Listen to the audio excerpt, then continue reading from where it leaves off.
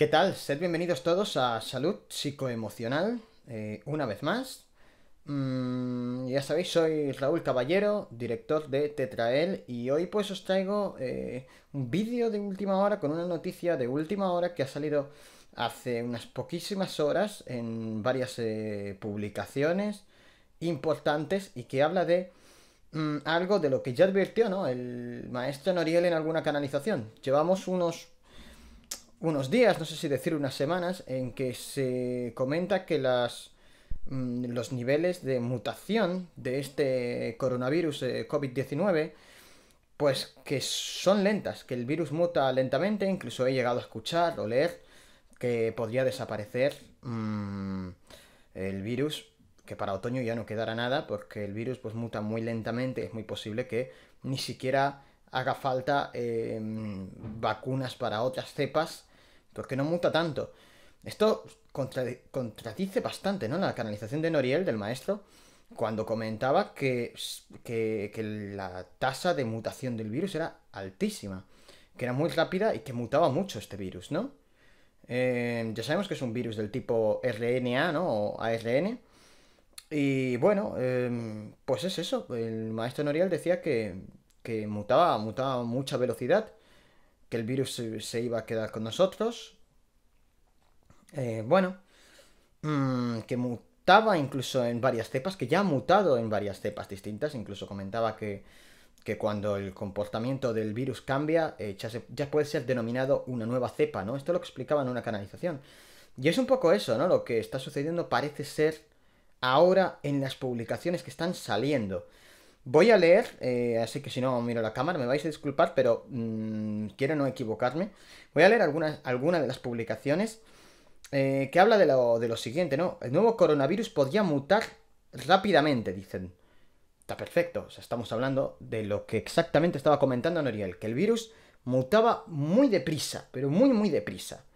Y esto es algo, insisto, que últimamente se estaba diciendo que, bueno, los, científicos, que el virus pues no muta tan deprisa, los virólogos, eh, los epidemiólogos, y ahora, pues, bueno, dicen que podría mutar rápidamente y múltiples cepas podrían explicar, sigo leyendo, los diferentes impactos en todo el mundo. Mm. El maestro Noriel hablaba de eh, dos cepas distintas que estaban afectando a Italia y a España. Concretamente, mm, una cepa que era... Bueno, voy a seguir leyendo, voy a seguir leyendo. Lo vais a ver. Lo vais a ver. Dicen, así lo ha eh, revelado una investigación realizada por científicos de China que han hallado nuevas cepas del virus de las que no se había informado previamente. Hmm, no se había informado previamente. ¿Seguro que esto los chinos no lo sabían antes? ¿Seguro? Eh, dice que la epidemióloga Li Yuan y sus colegas de la Universidad de Zhejiang, en China, encontraron también evidencia directa de que ciertas mutaciones podrían crear cepas más letales que otras. Más letales que otras. Sí, sí, sé lo que estáis pensando.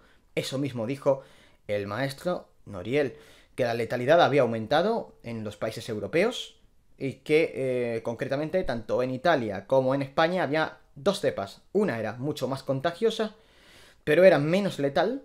Y la otra, que es digamos la cepa original, y la otra es mucho más letal. Se estaba hablando estos días de que las mutaciones de los virus empeoran normalmente al virus, ¿no? Y esto es así teniendo en cuenta factores eh, de virología. Esto es así, los virólogos lo saben, ¿no? Que generalmente cuando un virus muta se va volviendo menos peligroso, ¿no? Pero eh, en este caso concreto algo pasa que si es natural se está rompiendo alguna estadística. Y si no es que a lo mejor ahí hay mano detrás, como ya dijo también el maestro Noriel, que por cierto eh, ya lo ha eh, también confirmado eh, un premio Nobel, de que el virus fue este mm, modificado en un laboratorio, pero de eso ya hablaremos en un futuro vídeo, si os parece. Pero ya da para, para pensar, ¿no? Esto, justamente. Mm, claro, que cepas más letales. Hay una cepa que es mucho más letal, que está en Madrid, se comentó en Madrid y en Barcelona, creo que se dijo en canalización, que está aquí en España y que también estaba en el norte de Italia. Sí, sí, sí, sí, en Lombardía. Mm, de ahí que la tasa de muerte sea más alta en estos lugares. Porque esa cepa es realmente muy peligrosa, es menos contagiosa, pero es más letal. Bueno, está bien. Eh,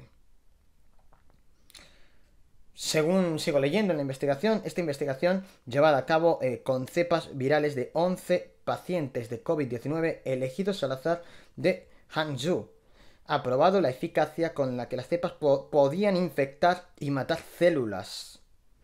Eh, bueno, dicen los investigadores han observado diversas mutaciones entre las cepas del SARS-CoV-2, que es como se llama técnicamente a este eh, coronavirus, incluida una que genera 270 veces más carga viral y por tanto es más peligroso que la menos potente.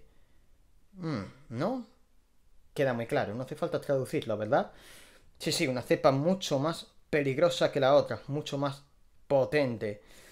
Bueno, eh, y termina un poco el artículo también mm, diciendo que eh, las cepas virales pueden haber sido subestimadas en gran medida. ¿no? De ahí que dijeran que no era tan, tan alta, ¿no?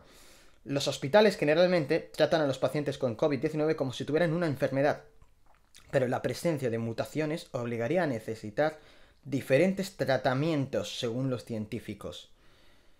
Bueno, ¿qué más hay que hablar entonces? Está muy claro, creo yo, ¿no?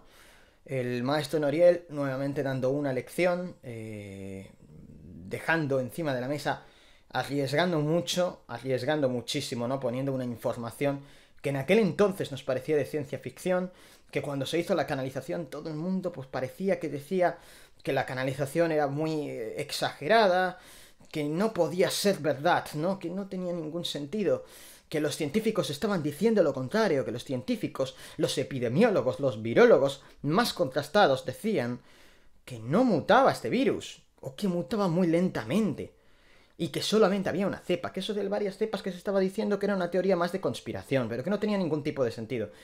Bien, pues el maestro Noriel se atrevió muchas semanas atrás a decir esto, y ahora van apareciendo estudios que van confirmándolo. ¿Confirma esto la mediunidad realmente? Ah, tenemos un montón de, de historias que confirmarían realmente que la mediunidad, bien hecha, se puede comprobar, ¿no? De la misma manera que vemos que los maestros siempre van por delante de los acontecimientos, por delante de los acontecimientos. Con esa perspectiva que ellos tienen desde arriba, pueden adelantar cosas que después nosotros, con nuestras medidas, ¿no? Con nuestros pequeños objetos para comprobar eso, se irá viendo o no y se irá tapando. ¿Os acordáis del vídeo de la censura? Bueno, pues muchas gracias por verme de nuevo, por haberos pasado por Salud Psicoemocional, ya sabéis, la sección donde se habla del COVID en Tetrael. Muchísima luz a todos y gracias una vez más.